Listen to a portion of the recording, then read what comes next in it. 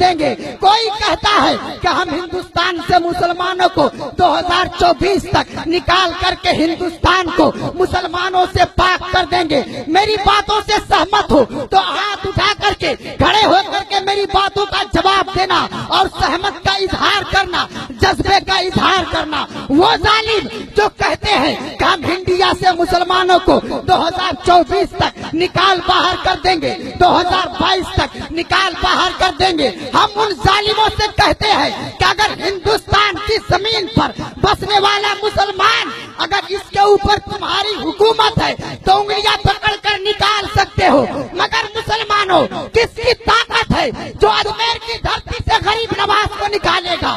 کس کی طاقت ہے جو دیوا سے وارث پاک کو نکالے گا؟